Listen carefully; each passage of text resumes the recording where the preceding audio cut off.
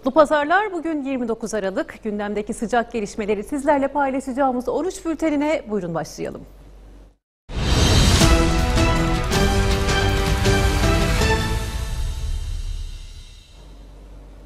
Milli Savunma Bakanı Hulusi Akar ve Türk Silahlı Kuvvetleri'nin komuta kademesi sınıra gitti. Hatay'da birlikleri denetleyen Akar gündemdeki konulara da değindi.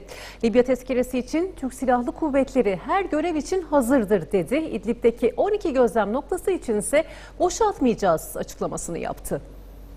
millet uğruna seve seve can vermeye hazırdır komutanım. Milli Savunma Bakanı Hulusi Akar Suriye sınırına gitti, birlikleri denetledi. En son terörist etkar getirince kadar bu işin devam edeceğini defalarca söyledik. Bu işin şakası yok. Bu işin şakası yok. Akar'a beraberinde Genelkurmay Başkanı Orgeneral Yaşar Güler ve kuvvet komutanları eşlik etti. Hatay Havalimanı'nda karşılanan Akar ve TSK komuta kademesi buradan Reyhanlı'ya geçti. Birlikleri denetleyen Akar ve komutanlar sınırın sıfır noktasında bölgedeki birliklerin komutanlarıyla bir araya geldi. Bizim tek hedefimiz teröristlerdir. Onlara karşı mücadelemizi bugüne kadar yaptık. Bundan sonra da aynı azim ve kararlılıkla yapmaya devam edeceğiz arkadaşlar. Akar daha sonra gündeme ilişkin değerlendirmelerde bulundu. Libya'ya asker gönderme tartışmalarına değindi. Türk Silahlı Kuvvetleri ülkemizin ve asil milletimizin hak, alaka ve menfaatlerini korumak ve kollamak için sınırlarımızda, hudutlarımızda, yurt içinde, yurt dışında, sınır ötesinde nerede bize ne görev verilirse Türk Silahlı Kuvvetleri etkin, caydırıcı ve saygın e, yapısıyla her türlü görevi yapmaya hazırdır. Bu konuda İdlib'deki gelişmelere değindi Bakan Akar. 12 nolu gözlem noktasını boşaltmayacaklarını söyledi. 12 gözlem noktamız var. Neye göre bu gözlem noktası? Soçi mutabakatına göre. Kiminle yaptık? Rusya ve İran'la birlikte yaptık. Gözlem noktalarımız bu konuda talimatıdır. Ee, herhangi bir şekilde kendilerine bir tasallut olduğu takdirde, taciz tecavüz olduğu takdirde tereddütsüz karşılık vereceklerdir. Ve bu şekilde oradaki varlığımızı sürdürmeye devam edeceğiz. Akar, Türkiye'nin Doğu Akdeniz'de peş peşe yaptığı hamleler içinde haklarımızdan ödün vermeyiz dedi. Asil milletimizin, 82 milyon vatandaşımızın rahatı, huzuru, güvenliği ve Türkiye Cumhuriyeti Devleti'nin egemenlik ve bağımsızlığı karada, denizde ve havada tüm hak ve menfaatlerimizin korunması ve kullanılması. Buna çalışıyoruz. Milli Savunma Bakanı ve komutanlar daha sonra Cilve Gözü sınır kapısına geçti. Buradaki çalışmalara ilişkin bilgi aldı. Milli Savunma Bakanlığı Seyyar İleri Cerrahi Hastanesi'ndeki çalışmaları inceledi. Akar ve komutanlar denetimlerin ardından gece geç saatlerde bölgeden ayrıldı. Diyarbakır'da annesinin PKK'ya karşı başlattığı eylem üzerine kaçıp gelen Mekiye Kaya ailesiyle yeniden bir araya gelmenin sevincini yaşıyor. 5 yıl aradan sonra çocuklarına kavuşmanın mutluluğunu yaşayan aile acı günleri geride bıraktı. Ben geldim çok mutlu oldum. Mutluluktan gözyaşlarım döküldü. Yani şimdi bile konuşamıyorum. İyi ki aileme kavuştum. İyi ki aileme kavuştum. Vallahi Allah çok şükür şu an benim kızım geldi benim yanımda da çok mutluyum. Valla çok şükür kızım geldi şimdi yanımdadır.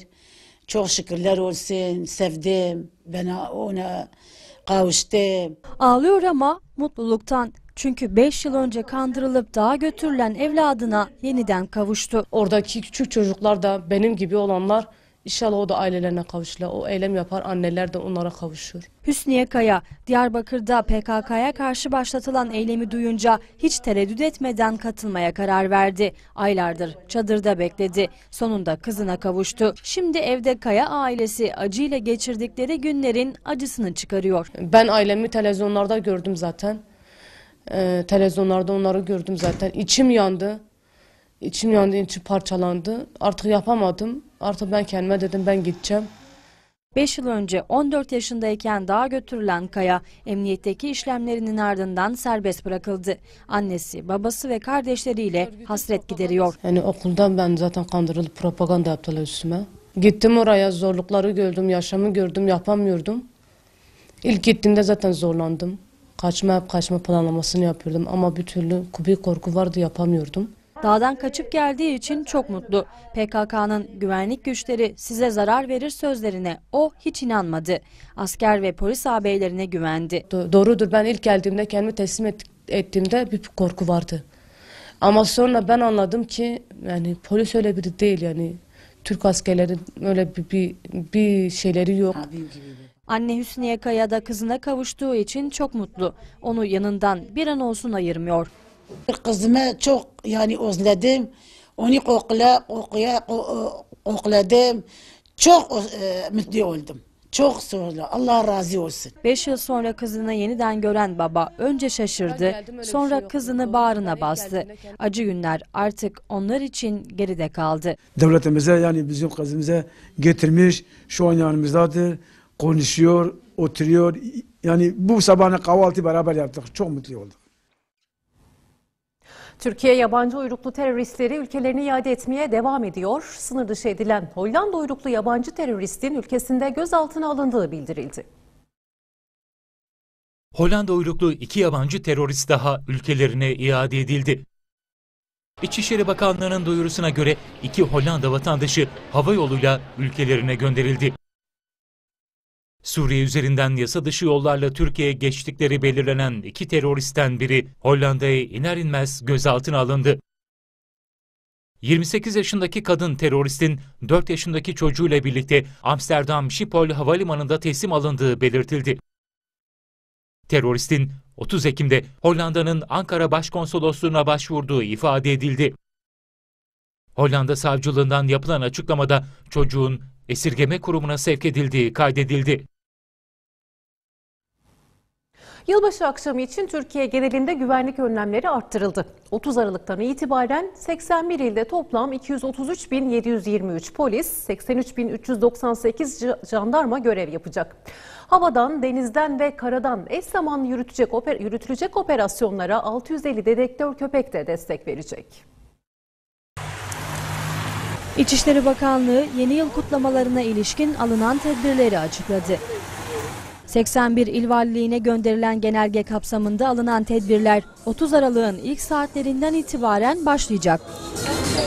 Sahada 233.723'ü emniyet, 83.398'i jandarma olmak üzere 317.121 personel görev yapacak. Yurt çapında hem havadan hem denizden gerçekleşecek denetimler en üst düzeyde olacak. 716 hava ve deniz aracıyla yürütülecek denetimlere 650 dedektör köpeği de katılacak. Vatandaşların yoğun olduğu alışveriş merkezleri, hava alanı, otobüs terminali, tren garı, pazar yerlerinde devriyeler arttırılacak. Doğu Ekspresi gibi güzergahlara ve kış turizm merkezlerine takviye ekipler gönderildi. Güvenlik güçleri göz açtırmayacak. Yabancıların izinsiz seyahat etmelerine izin verilmeyecek. Tespit edilenler İl Göç İdaresi müdürlüklerine gönderilecek.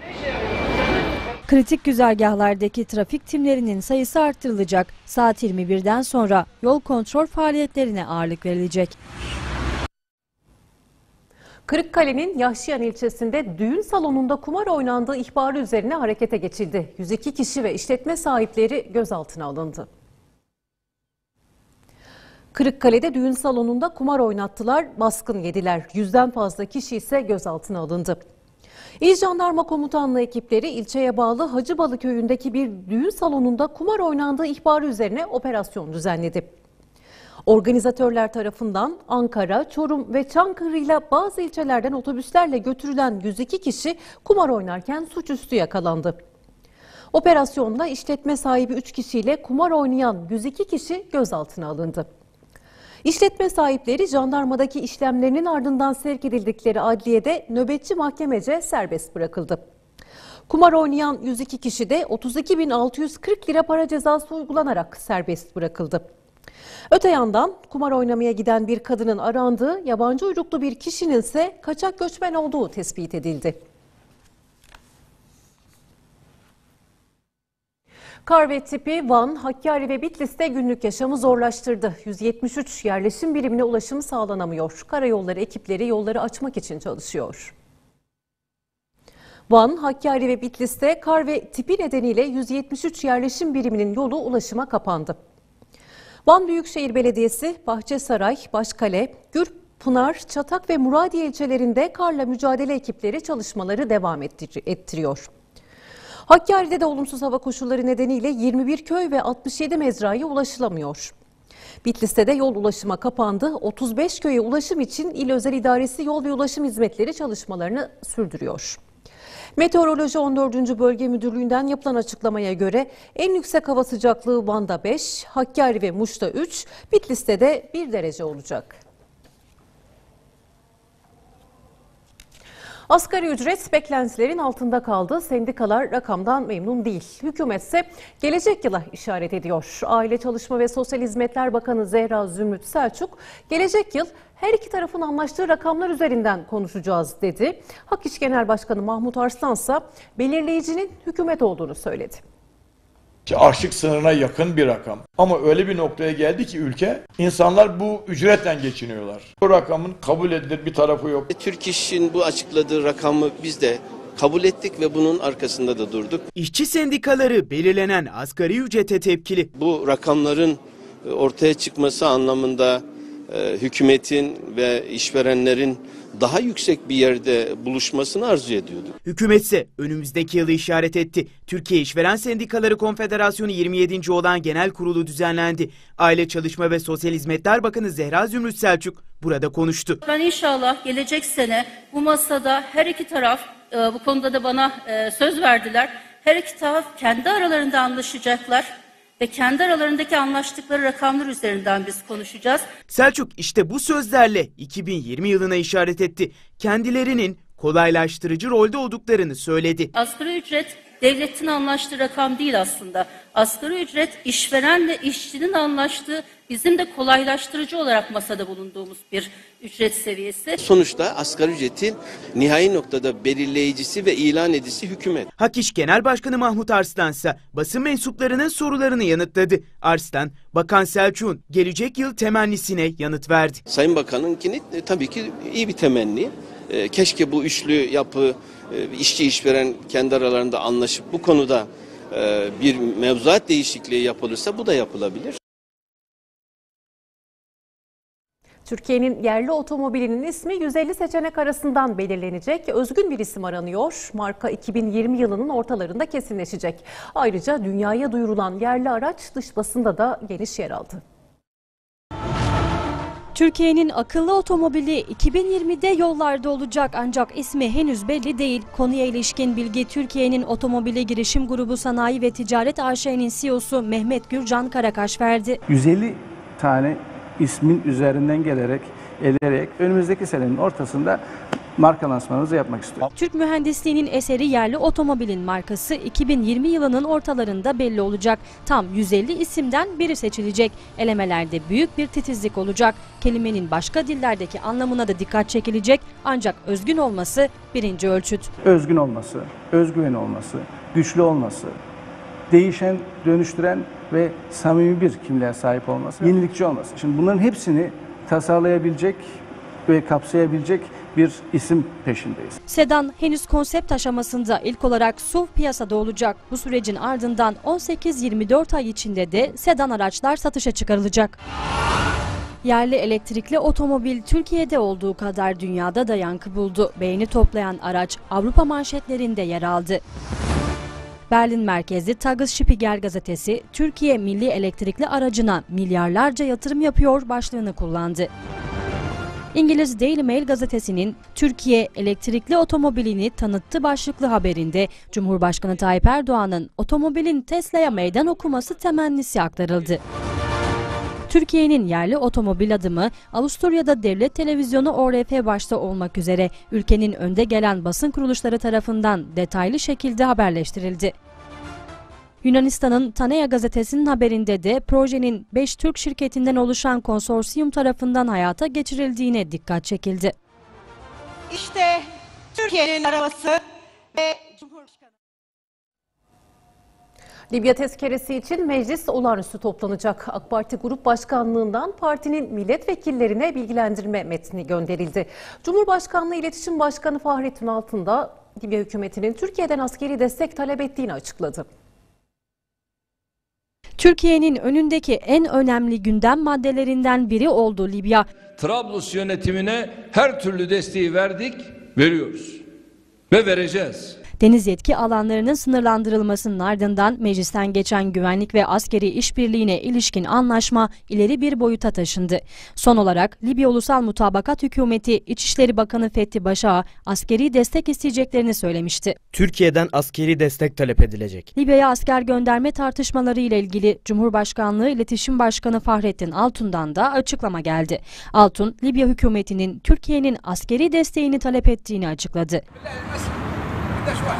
İletişim Başkanı, Libya ile yaptığımız anlaşma Türkiye'nin açık denizlerde serbestçe hareket edebilmesinin önündeki engelleri kaldırıyor.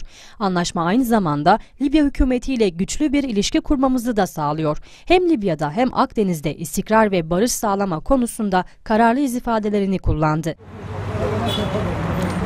Önümüzdeki haftalarda konu siyaseti meşgul edecek. Meclis Genel Kurulu Libya'ya asker gönderilmesini görüşmek üzere haftaya olağanüstü toplanacak. AK Parti Grup Başkanlığından partili milletvekillerine bilgilendirme metni gönderildi. Libya'ya asker gönderilmesine onay veren tezkerenin 30 Aralık pazartesi günü meclise sunulabileceği aktarıldı. Genel Kurulu'nda 2 Ocak 2020 Perşembe günü saat 14'te toplanmasının söz konusu olabileceği kaydedildi. Biz de ne diyoruz? Biz davet edildiğimiz yere gideriz. MHP'den de tezkereye destek açıklaması geldi. MHP Genel Başkanı Devlet Bahçeli, MHP 2 Ocak 2020'de Türkiye Büyük Millet Meclisi'nin olağanüstü toplanmasına ve Libya tezkeresinin görüşülmesine destek vermektedir. Tezkereye 49 milletvekilimizle olumlu oy kullanacağımızı herkesin bilmesinde yarar vardır ifadelerini kullandı. CHP Genel Başkanı Kemal Kılıçdaroğlu Libya tezkeresine hayır diyeceklerini açıkladı. Kılıçdaroğlu Libya için Arap çölleri ifadesini kullandı. CHP Genel Başkanı ayrıca Ali Babacan ve Ahmet Davutoğlu ile aynı pencereden bakıyoruz dedi. Libya tezkeresi önümüzdeki haftalarda meclise sunulacak. Ancak CHP Libya tezkeresine hayır diyecek. Türkiye bölgede etkin rol oynarken CHP Genel Başkanı Kemal Kılıçdaroğlu bu adımlardan rahatsız oldu. Libya için Arap çölleri ifadesini kullanan Kılıçdaroğlu Libya tezkeresine hayır diyeceklerini belirtti. ile de Askerlerimizin kanının Arap çöllerine dökülmesini istemiyoruz. Gerek Suriye gerek Libya açısından izlenmiş dış politika Türkiye'ye yarar değil zarar getirecektir. Mısır tanklarını soktu. Ne olacak şimdi? Askerlerimiz Libya'da Mısır güçleriyle mi çatışacak? Türkiye'nin dış politikasının sağlıklı olmadığını iddia eden Kılıçdaroğlu, Türk Silahlı Kuvvetleri'ni Libya'ya göndermek asla doğru değil. Türkiye savaşmak için değil, tarafları barıştırmak için orada olmalı. Böyle bir rol üstlenmeli dedi. CHP Genel Başkanı gazetelerin Ankara temsilcileriyle bir araya geldi. Kılıçdaroğlu sohbet sırasında Ali Babacan ve Ahmet Davutoğlu ile aynı pencereden baktıklarını söyledi. Yeni ittifaklar olabilir. Gerek Babacan'ın gerek Davutoğlu'nun yaptığı açıklamaları dikkatle izliyoruz. Güçlü bir parlamenter sistemden yana olduklarını ifade ediyorlar. Bu bizi memnun ediyor. Türkiye'nin geleceğine aynı pencereden bakıyoruz. Kılıçdaroğlu ayrıca Kızıl Soros lakaplı FETÖ'den tutuklu Osman Kavala ve eski HDP eş genel başkanı Selahattin Demirtaş'ı savundu. Bence 2020'de Türkiye demokrasi konusunda çok önemli adımlar atacak. Osman Kavala'nın da Selahattin Demirtaş'ın da bir yılbaşı gecesini hapiste geçirmesini doğru bulmuyoruz. Özlenen Türkiye'yi getireceğiz. Kemal Kılıçdaroğlu seçim varmış gibi konuştunuz denilmesi üzerine benden bu kadar güzel şeyler olacak ifadelerini kullandı. Yıllardır yöneten bir siyasal anlayış sonradan Saman fiyatındaki artış besicileri zora soktu. Tonu 280 liraya satılan saman bugün 1000 liraya satılıyor. Ankara Kırmızı Et Ürünleri Tarımsal Üreticileri Birliği Başkanı Zihni Yüce fiyatlardan dert yandı. Saman ve silaj fiyatlarında yaşanan artış besicileri zor durumda bıraktı. Ankara Kırmızı Et Ürünleri Tarımsal Üreticileri Birliği Başkanı Zihni Yüce, sezonunda tonu 280 liraya satılan samanın bugün 800 ila 1000 liraya satıldığını söyledi. Bu sezon sonu işte sat, e, samanın satış fiyatı 28-30 kuruş aralıklarında iken, iken şu anda 85-90 kuruşa çıktı. Tedbir alınmasını isteyen Yüce, silajda da aynı oranda artış var dedi. Ya bu da gerçekten de e, besicilik yapan üreticimizi, e, hayvancılık yapan üreticimiz çok çok aksi yönde etkilemekte. Kabayem üretiminin Türkiye için yeterli olduğunun altını çizen Yüce, ihracatın fiyatlara artış olarak yansıdığını kaydetti. Yani böyle bir artışın olmaması lazım. Yüzde 150 liraya yakın bir artış oluştu. Saman ve silah satışı yapanlar da Kabayem'deki artış nedeniyle sıkıntıda. Şu an için e, bu sektörde çok sıkıntıya düştü. Sılajımız 450, 470, 500 lira oldu. Bu çok büyük, afet bir rakam. E, 360 lira yazdık sezonda samanımızı çiftlik teslimi. 380 lira yazdık. Yani 36-38 kuruş yazdık. Şu an için 1 lira, 1, 1.25 1 lira kilosu. Karaman'da bu yıl elma rekoltesi yüksek olmasına rağmen soğuk hava depolarından 2 liraya alınan elma piyasada 7 liraya satılıyor. Bu durumdan üretici de tüketici de zarar görüyor. Türkiye'nin elma üretim merkezlerinden Karaman'da elma hasadı sona erdi. Karaman Ziraat Odası Başkanı Mehmet Bayram çok iyi bir sezon geçirdiklerini söyledi ancak gelecek pek iyi gözükmüyor. Bu yılki üretim rakamımız 550 bin ton civarında olduğunu tahmin ediyoruz. Bunun şu anda soğuk havalarda bulunan miktarında 100 bin ton civarı olduğunu tahmin ediyoruz. Türkiye'de ağaç sayısı olarak birinciyiz, üretim aşamasıyla da ikinciyiz. Elmada bu yıl hasat mevsimi olarak gayet güzel geçti. Fakat fiyatlardan memnun değiliz. Bu yıl elma üretim miktarı çok yüksek olduğu halde bu durum tüketici fiyatlarına yansımadı. Soğuk hava depolarından 2 liraya alınan elma marketlerde ve piyasada tüketiciye 7 liraya satılıyor. Bu durum hem üreticiye hem de tüketiciye zarar veriyor. Soğuk hava deposundan müstahsinin satış fiyatı 2 lira. Fakat üreticilerimiz İstanbul, Ankara, İzmir gibi yerlerde 7 liraya bunlar sofrasına mal oluyor. Bundan dolayı ne üreticimiz memnun ne tüketicimiz memnun. Bu şekilde bir sıkıntımız var. Elma insan sağlığına en e, faydalı ürünlerden biri, meyvelerden biri. Fakat tüketiciye pahalıya ulaştığı için ister istemez elma tüketimi Türkiye'de hızla azalıyor. Bunlarla ilgili bir çalışma yapılması gerektiğini belirtmek isterim.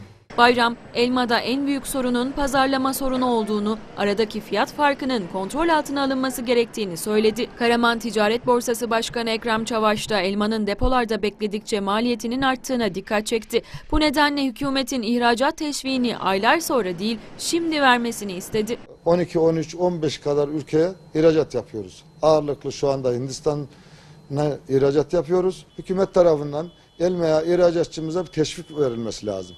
Karaman'da 210 bin dekarda 12 milyon elma ağacı bulunuyor. Bu yıl Karaman'da üretilen elmanın 100 bin tonu ihraç edilerek dünya sofralarını süsledi.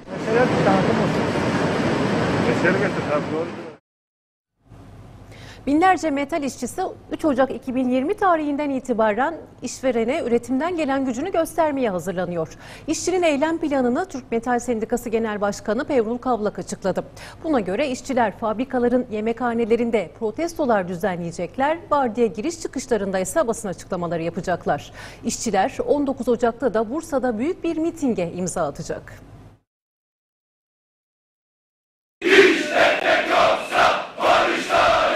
Kavgamızın fitilini ateşlemeye geldim. Fitili 3 Ocak'ta ateşleyeceğiz. Yemekhanede protestolar, vardiya giriş çıkışlarında basın açıklamaları ve mitingler. Metal işçileri işverene üretimden gelen gücünü göstermeye hazırlanıyor. Dev gibi bir yumrukla meydana çıkacağız. Caddelerde, sokaklarda sel gibi akacağız. Yaklaşık 120 bin metal işçisinin 2019-2021 yıllarında alacağı zam oranlarında anlaşma sağlanamamıştı. Görüşmelerde işçiyi temsil eden Türk Metal Sendikası %26,28 zam talep etti. İşvereni temsil eden Türkiye Metal Sanayicileri Sendikası ise işçinin bu talebine %6,05 de karşılık verdi. Masada var gücümüzle direndik, mücadele ettik. Kimseye boyun eğmedik. Taraflar arasında anlaşma sağlanamaması üzerine devreye arabulucu girdi. 25 Aralık'ta arabulucu eşliğinde yapılan ilk toplantıda da taraflar arasında uzlaşı sağlanamadı. Haklı nedenlerimizi masa anladı. Sandalye anladı. Taş anladı taş. Ama onlar anlamadılar. Görüşmeler sürerken binlerce metal işçisi işverene uyarı eylemlerine fabrikalarda başladı. İşçiler önce vardiya giriş çıkışlarında yürüyüş düzenledi. Ardından fazla mesaileri kaldırdı. Şimdi sıra yeniden tarih yazmada. Tarihi biz yazacağız onlar okuyacaklar. Biz yazacağız onlar okuyacaklar.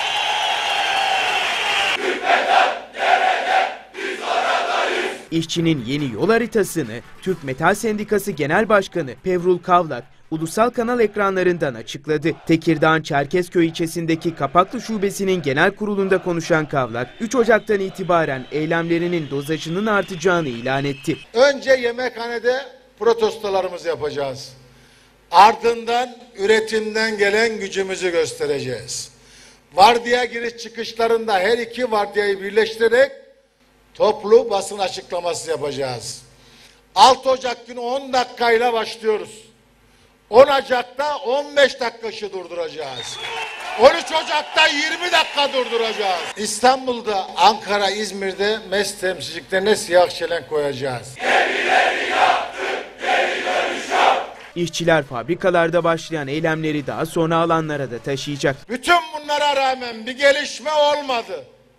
O zaman, o zaman 19 Ocak'ta Bursa'da yüz binleri bitiğe çağıracağız. Yüz binlerle bitik yapacağız. Bizim sesimizi duymayanları, bizi görmeyenleri, anlamayanları biz de can damarından vuracağız. Her gün daha az çalışacağız. Uydu haberleşme sistemi testleri Ankasay üzerinde başarıyla tamamlandı. Uydu haberleşme sisteminin TUSAŞ'ın öz kaynaklarıyla 17 ayda ürettiği Aksungur insansız hava aracı için de kullanılması hedefleniyor. Türk Havacılık ve Uzay Sanayi Şirketi'nin iştiraki tarafından üretilen ve Ankaselere entegre edilen uydu haberleşme sisteminin testleri başarıyla tamamlandı. TUSAŞ'tan konuyla ilgili açıklama yapıldı. Anka-S'ye entegre edilen sistemle uçuş testleri yapıldı. Söz konusu entegrasyonla Anka üzerindeki bir alt sistemin daha yerlileştirme ve millileştirme süreci tamamlanmış oldu. Uydu haberleşme sisteminin TUSAŞ'ın öz kaynaklarıyla 17 ayda ürettiği Aksungur insansız hava aracı içinde kullanılması hedefleniyor. İran, Rusya ve Çin Hint Okyanusu'yla Umman Körfezi'nde deniz güvenlik kuşağı tatbikatına başladı. Bölgede güvenlik, barış ve istikrar sağlama hedefiyle başlatılan tatbikat, Pentagon'un yakın takibinde ABD Savunma Bakanlığı tatbikatı izlediklerini açıkladı.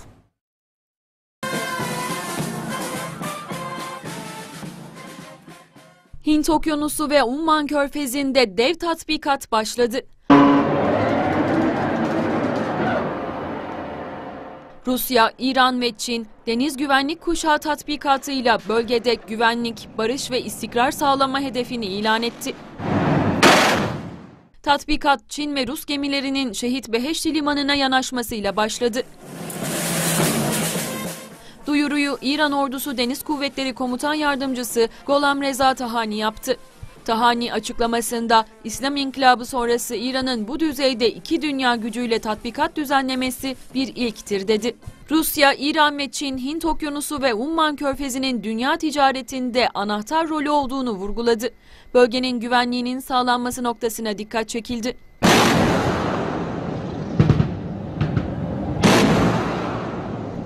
...30 Aralık 2019 tarihine kadar devam edecek olan tatbikattan Pentagon rahatsız. İran ve Amerika ile yaşanan gerilimin merkezinde yapılan tatbikatla ilgili Amerika Savunma Bakanlığı'ndan açıklama geldi.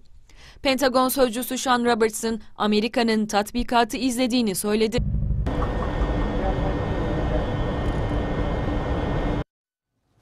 Türkiye Gençlik Birliği, Amiral Soner Polat Korosu'nun seslendirdiği parçalarla anma gecesi düzenledi. Gecede vatanın birliği ve bağımsızlığı için mücadele eden bütün neferler anıldı. İstanbul'da yapılan etkinliğe evlat nöbeti tutan Diyarbakır'daki anneler de katıldı.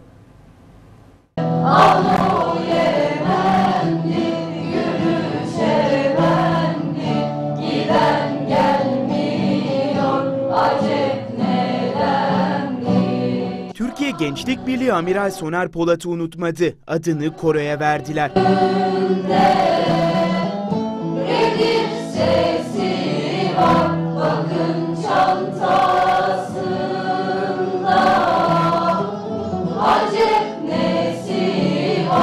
TGB'li gençler Amiral Soner Polat Korosu'nun seslendirdiği parçalarla anma gecesi düzenledi. Amiral Soner Polat Korumuzun seslendireceği şarkılarla gerçekleştireceğimiz Türkiye'nin birliğine adanmış ezgiler gecemize hepiniz hoş geldiniz. Amiral Soner Polat'ı 30 Eylül'de kaybettiğimiz büyük değerimiz, değerimizi saygıyla, sevgiyle ve bize öğrettiklerini bilincimizde taşıyarak saygıyla anıyoruz. Seslendirilen parçalarla vatanın birliği ve bağımsızlığı için mücadele eden bütün neferler anıldı.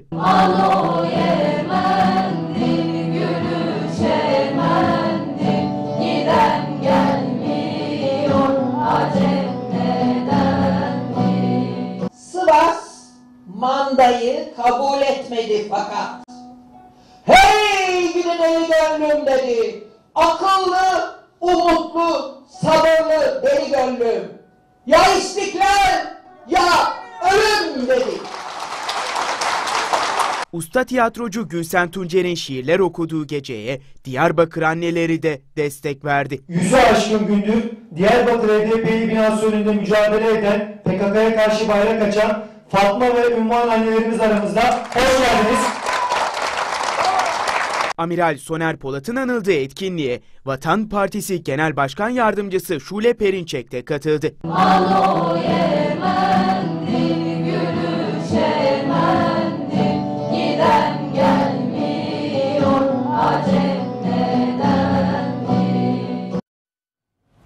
Türk Silahlı Kuvvetleri'nde yıllarca teknik, idari ve komuta kadrosunda görev yapan astsubaylar özlük hakları için basın açıklaması yaptı. 20 ilde meydanlara çıkan astsubaylar tazminat ve kıdem derecelerinin iyileştirilmesini istediler.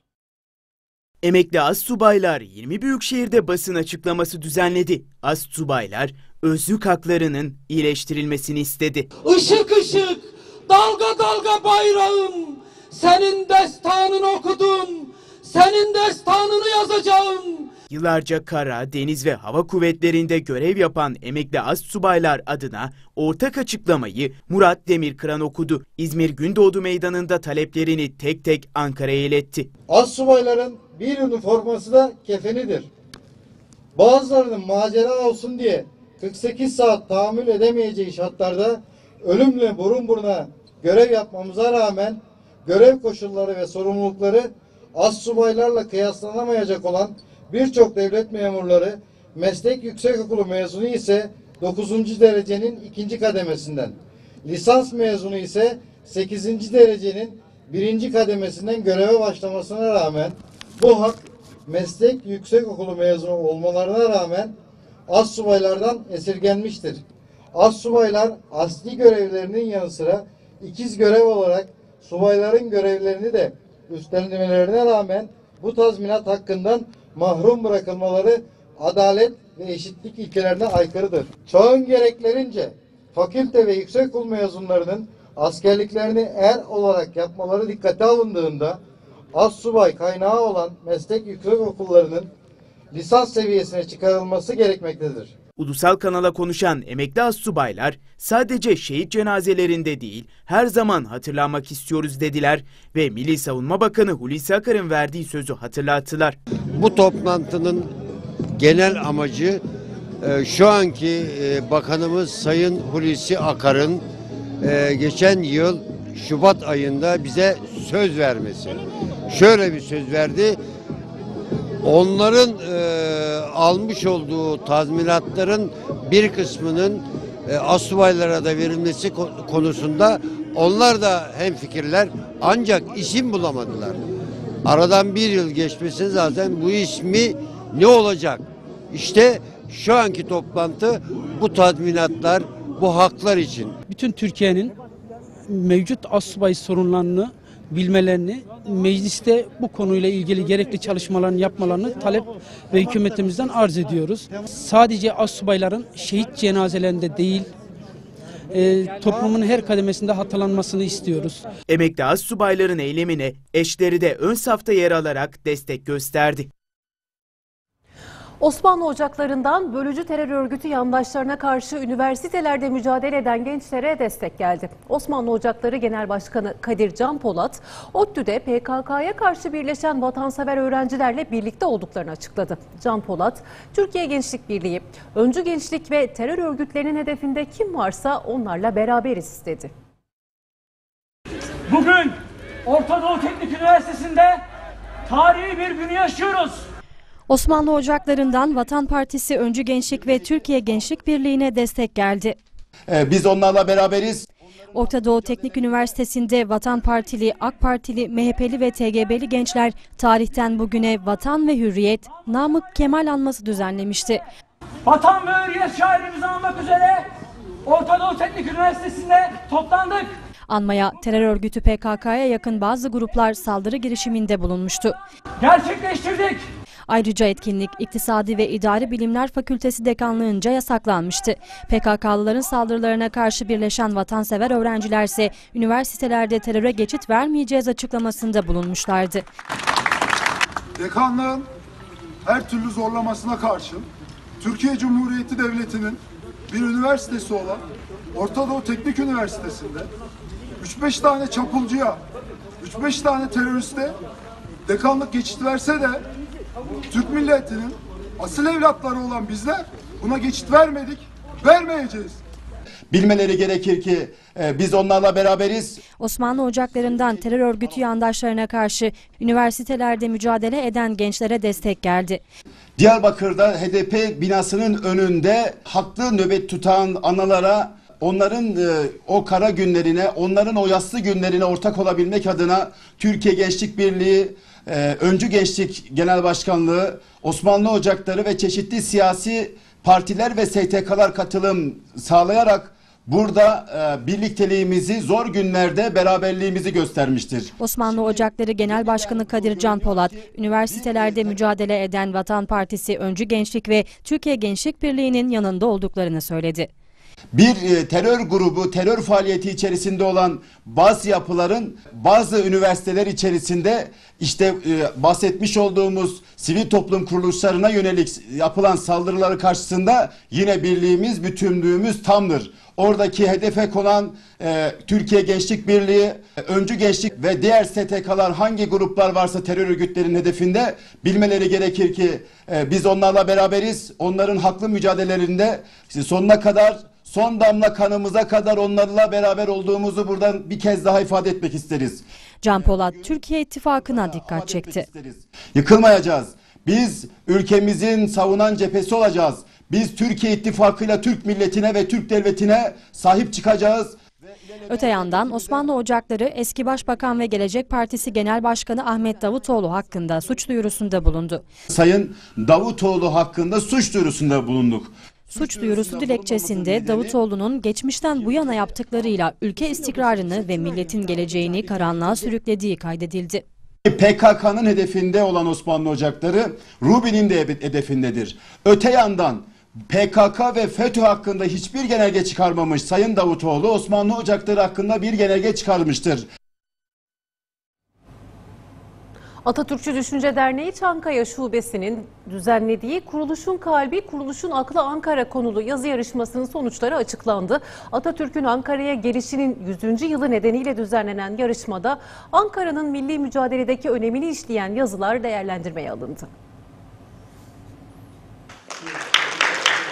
Atatürkçü Düşünce Derneği Çankaya Şubesi, Atatürk'ün Ankara'ya gelişinin 100. yılı nedeniyle bir makale yarışması düzenledi.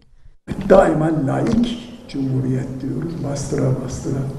Katılımın ücretsiz olduğu ve 30 yaşa kadar gençlerin katılabileceği yarışmada Ankara'nın milli mücadeledeki önemini işleyen gençlerin yarışmaya katılması istenmişti. Yarışmanın değerlendirme kurulu eski milletvekilleri Birgül Ayman Güler, Aylin Nazlı Aka, Profesör Doktor Sina Akşin, eski milletvekili ve Türkiye Büyük Millet Meclisi eski Başkan Vekili Uluç Gürkan, yardımcı doçent Doktor Halil Özer, Profesör Doktor Seçil Karalay Gün ve yazar Işık Kansu'dan oluştu. Bu hocalarımız 32 gencimizin yazılarını, makalelerini incelediler. Değerlendirme Kurulu, Kuruluşun Kalbi, Kuruluşun Aklı Ankara adlı yazı yarışmasında dereceye giren isimleri açıkladı. Dereceleri belirledik. Atatürkçü düşünce sistemi, milli mücadele şartları ve Ankara'nın milli mücadeledeki önemi konularını işleyen yazılar değerlendirmeye alındı. 6 kişiye ödül veriyoruz.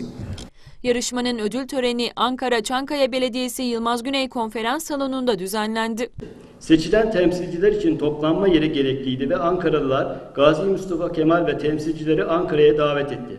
Kurtuluş Savaşı'nın en iyi şekilde Ankara'dan yönetileceğini, Gazi Mustafa Kemal Ankara'nın coğrafi konumu ve cepheleri olan eşit uzaklığı nedeniyle e, buranın bir karargah olmasını kararlaştırdı. Açılış konuşmalarının ardından yarışmada dereceye giren gençler için ödül töreni düzenlendi.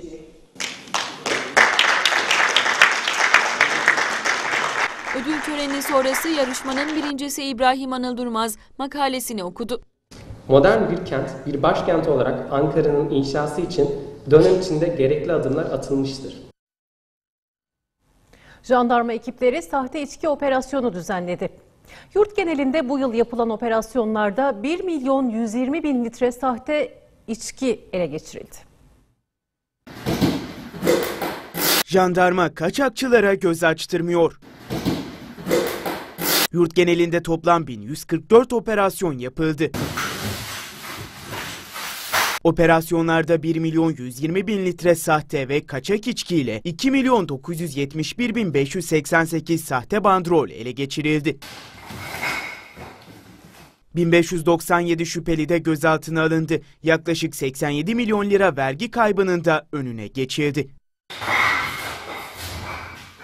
Jandarma sahte alkollü içecekten kaynaklı sağlık sorunu yaşanmaması için son bir ayda operasyon ve tedbirlerini arttırdı. Bir ayda 254 zanlının gözaltına alındığı operasyonlarda 183 bin litre sahte ve kaçak içki, 2 milyon 512 bin 213 sahte bandrole el konuldu.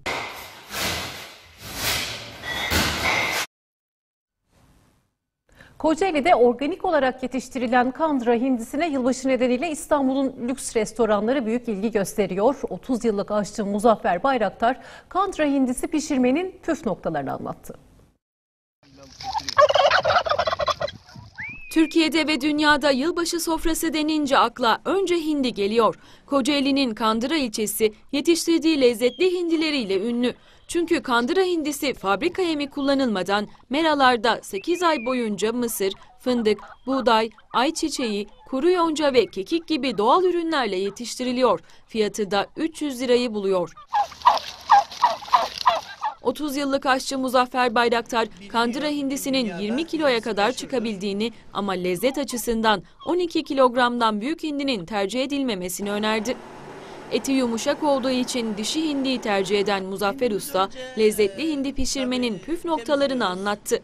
Malzemelerimiz kuş üzümü, şam fıstığı, yeni bahar, karabiber, tereyağı, sosu için salça ve yoğurt üzerinin Hindi önce tütsülenip yıkanıyor ve yaşına göre 2 ila 4 saat süreyle haşlanıyor. Ayrı bir tencerede içli pilav için kuş üzümü ve çam fıstığı, tereyağı ve zeytinyağı ile kavruluyor.